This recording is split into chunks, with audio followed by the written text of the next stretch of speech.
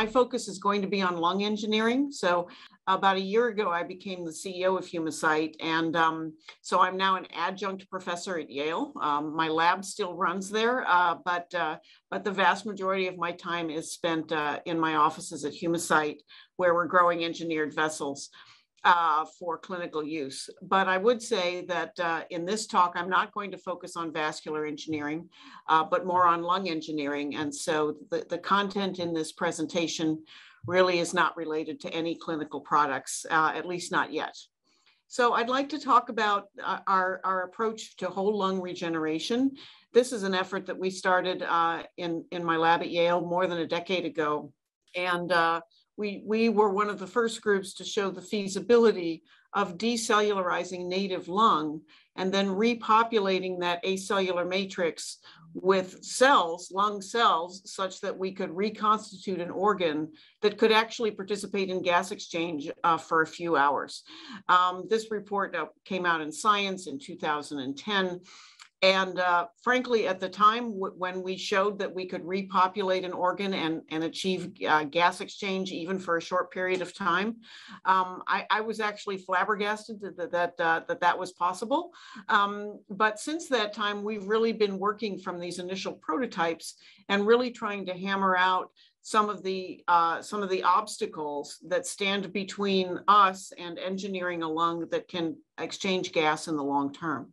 So um, as I always say to my students uh, and postdocs, you know, it's important when you're when you're thinking about regenerating a tissue that you want to be functional, it's uh, critical that you think about the, the, the key, uh, what, what we would call design criteria that go into whatever you're going to engineer that, that's going to really drive function.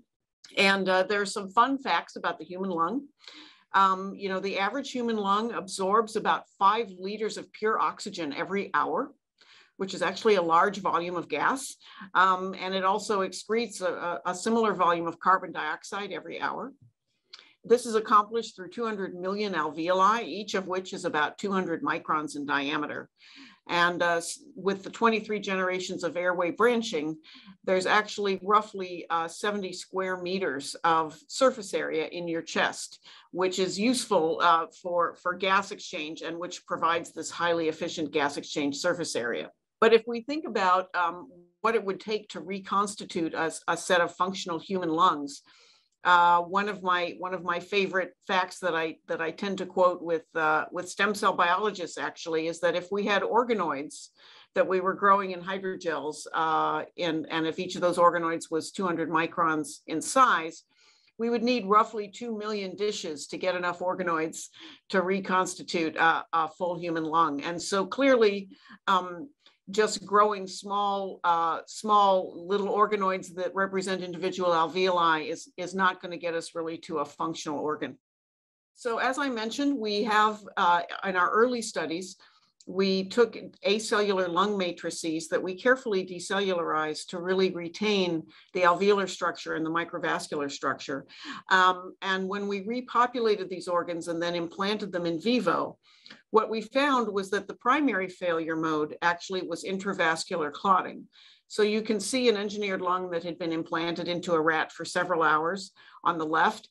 And what you see is that it's sort of this beefy red appearance. And that's because th there was a lot of microvascular um, or, and, and intravascular coagulation. So this really led us to think very carefully about the alveolus, which is really the functional unit for gas exchange in the lung. And uh, really, the, the, alveoli in your lung are replicated uh, millions of times over, and they're a fairly stereotypic structure. They contain about six or seven different cell types, um, including microvascular endothelium on, on the vascular side of the barrier, um, but also uh, uh, a collection of fibroblasts, which, which sit in the septae in the wall of the, uh, of the alveoli. And also they contain um, epithelial cells actually of two flavors, type 1 and type 2 epithelial cells. And the type 1 epithelial cells really stretch over the surface of the airway and uh, uh, sit right on the other side of the basement membrane, right next to, to endothelial cells. And uh, I'll show you later on in this talk that we've done some single cell analysis to try to understand how these neighborhoods or collections of cells talk to each other in the normal alveolus. But, but just to start, you know, th this just sort of orients you to, to the different types of cells that are located uh, in the air sac. So when we began focusing more on, on providing a, a stable and complete endothelial layer in the vasculature, uh, in order to avoid uh, clotting once we implant the lungs uh, into, uh, into nat native living animals. Uh, we realized uh, at first that, that there's actually two flavors of endothelium, two, two broad flavors of microvascular endothelium in the lung. One is what we call blood endothelium, which it, it comes in contact with the bloodstream.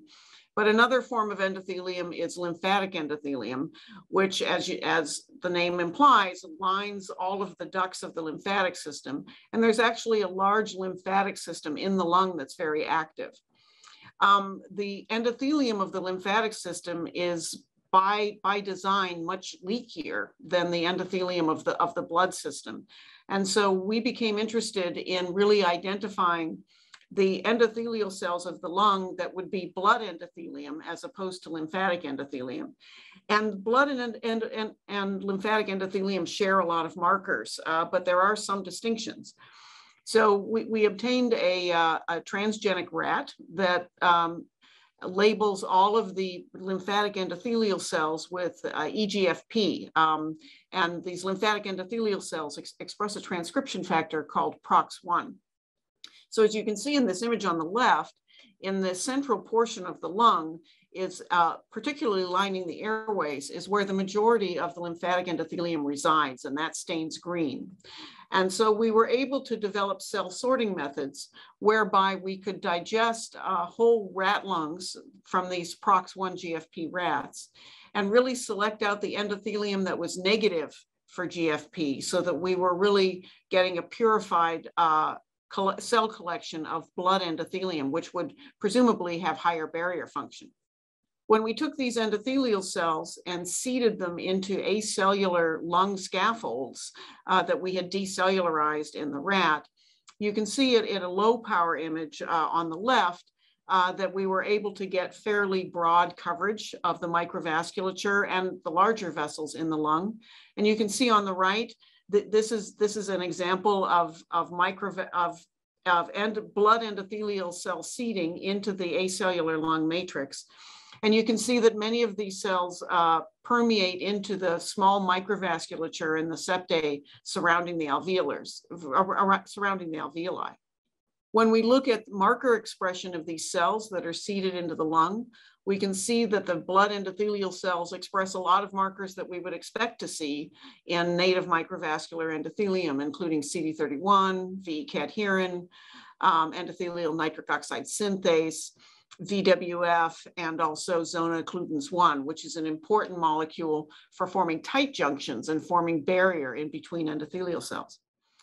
And uh, as you can see from this, from this image on the right, when we measure the resistance of the capillary bed, which we're able to do by, by flowing uh, culture medium through, through the vasculature and by measuring pressure drops across the vasculature over time.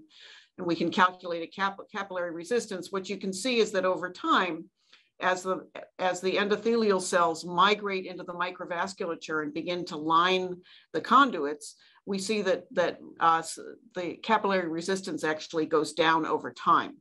And we viewed these as, as sort of positive uh, indicators that, that, uh, that the endothelial cells were adhering to the walls of the, of the uh, vessels and doing what they were supposed to do. We then also uh, performed assays that measured not just the resistance of the vasculature, but also the barrier function. Um, so, you know, one of the key um, one of the key functions of, of the lung microvasculature and the epithelium is that uh, it forms a tight barrier between the air in the air sacs and the blood in the microvasculature of the lung. Um, and so the ability to recapitulate that barrier function so that you don't get transudation of fluid across the alveolar barrier is really a key aspect of whole lung engineering. And what we found when we measured a barrier function or, or essentially flow rate uh, liquid flow rate going across the, the alveolar barrier from the vascular compartment into the airway compartment. Uh, what we found is that flow across that barrier tended to go down over time as the endothelial cells were cultured in the vasculature. And you can see on this image on the right, the, these, these blue uh, squares show that there's a slight decrease in fluid flow across the barrier. Um, and going along with that, that there's a concomitant increase in vascular flow that, that enters the pulmonary artery and then exits the pulmonary vein. And while these are, are both things that we would like to see, uh, what's important to note is that the flow rate um, in blue boxes here certainly does not go to zero over time. So that means that there's still quite a bit of fluid transudation from the, from the vasculature into the airways and um, and th that's a nice that, that's a nice way of uh, referring to drowning actually. So if you if you put a, a, lung that's very leaky into an animal or into a human, then you'll get that fluid transudation into the airways, and you'll basically drown the recipient. So so the the, the message here is that while while providing uh, blood endothelial cells into the microvasculature certainly uh, helped with decreasing resistance and increasing barrier. And while it was helpful, in our hands, it was not sufficient. So then that, that caused us to look a little bit more carefully at not just the endothelium on the vascular side, but also to try to understand how the endothelium interacts with other cell types in, in the alveolus to maintain homeostasis and also to try to maintain barrier function. And uh, th this led to a set of experiments that was done by a very talented graduate student in my group, group, uh, group named Katie Leiby. She's an MD PhD student. And uh, what, she, what she wanted to understand was the impact of different cell types, particularly endothelial cells, but also alveolar fibroblasts, on the differentiation and the growth of the, the, the epithelial stem cell of the lung, which is really the type 2 alveolar uh, epithelial cell. So, so in, in our alveoli, there are really two flavors of, of epithelium. They're the type 2 cells, which make surfactant and which allow our lungs to expand, but they're also the local progenitor cell for the type 1 epithelium. And the type 1 ep epithelial cells are the cells that really line most of the surface area of the alveoli and provide a lot of, uh, a lot of uh, barrier function. And so what Katie found um, is that by, by combining um, a, a really uh, a type 2 epithelial cell conducive medium, combining that with co-culture with both epith uh, fibroblasts and endothelial cells, she found that she was able to form really dense rings of, of alveoli that were lined almost entirely with type 2 epithelium, um, which is actually kind of an extraordinary finding um, because it means that she was able to essentially reconstitute the, the epithelial component you know, across an entire organ in a fairly organized fashion. What she also found was that when she just uh, seeded the, the, the epithelial progenitor cells just with endothelium, that, that, that the growth of the, of the epithelium was poor. And if she seeded them with just fibroblasts, that, that there was a lot of epithelial cell growth, but it was very disorganized. So having these two other cell types was really uh, pivotal for, for generating alveolar structures that contain really robust epithelium. And if we look at this a little bit more closely, um, again, there's there's some immunostaining here for some markers that, that may not be familiar to some folks if you don't think about lung all the time. But, but essentially what, what this staining shows is that, is that in triculture lungs, um, we got a, a, tremendous amount of, of what we would call um, native alveolar markers, uh, including um, uh, type 2 markers, which is, which is ABCA, ABCA3, um, and also Vimentin and NKX 2.1. This just shows even a little bit more detail looking at, looking at the functionality or the ability of these type 2 cells to make an important uh, molecule, which is surfactant molecule, which allows um, allows our lungs to inflate and, and lowers the, sur the surface tension in our lungs. Surfactant molecules are stored in, in lamellar bodies, and you can see that in triculture, the type 2 cells have huge numbers of lamellar bodies which contain surfactant that's waiting to be released from the cells. And uh, when we don't have triculture, we see many fewer of these lamellar bodies. So to finish up, I'm going to focus a little bit on some of our single cell work that has really tried to understand what are the conversations that are going on between the different cells in the alveolus. So this is a this is really a, a, cartoon of these different cell types that we think are important and are present. Um, as I mentioned, there's the type 1 epithelial cell, which covers most of the alveolus. There's the endothelium, the blood endothelium, which sits on the other side of the basement membrane. And those two cell types, which cover most of the surface area, are really separated by only about 500 or, or 50 or 100 nanometers. So, so, so it would not be surprising if those two cell types actually had very active conversations with each other. But in addition, there's type 2 cells, there's macrophages, and there's a couple different flavors of fibroblasts. So in order to understand in a very broad way how, how cells in the alveolus talk to each other, um, we really wanted to get a signature of lungness, a signature of, of what the alveolar uh, communication system looks like. And to do that, what we did is, is a single cell analysis of, of the connectomics between cells in the alveolus, but not just in one species.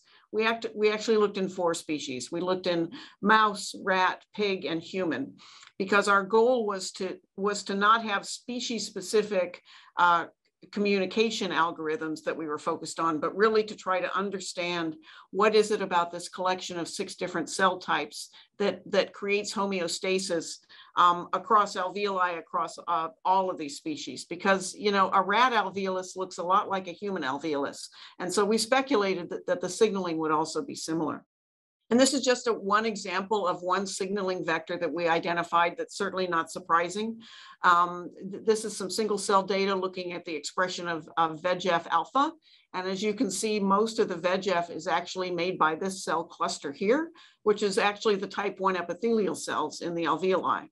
Similarly, if you look for the receptor for VEGF, you see that it's, that it's located almost entirely on the vascular endothelium, as you would expect. And so by, by looking at these two sets of data, we can essentially draw a vector that for a signaling vector that connects the type 1 epithelium to the endothelium in the alveolus. And so we've, one of another graduate student in my lab, Sam Raredon, has done terrific work here looking at, um, looking at how we can generate sort of a connectome or, or co collection of conversations uh, between these different cell types. And what he's shown is that if you if you look at multiple cell types in the lung, so this is not just the alveolus, but this is cell types even higher up in the airways, it's possible to, to draw vectors of communication between these different cell types and then to graph that visually. And as you can see, the, the, the connectomics of, of cell communication in the human lung is actually at a gross level uh, bears a lot of similarity to the connectomics in the mouse lung, which is shown on the right here. Specifically, the fibroblasts in the alveolus are incredibly important signalers to type 1 and type 2 cells in the alveolus, as well as um, to other epithelial cells. And, and that's just one example of a conserved signaling pattern. So we do believe that we're making progress in understanding what are the key signals that, that cells in the alveolus need to talk to each other and to maintain their function and their, and their stability. And we believe that once we're able to tease out this, this roadmap of communication, we'll be able to translate that into our engineered lung system and really provide the right cues so that we can generate alveoli that, that are functional where these five or six different cell types are, are all behaving as they should. So I'll just finish up there. Um, I, I really want to thank my fabulous group at Yale who's been working on this problem for a long time.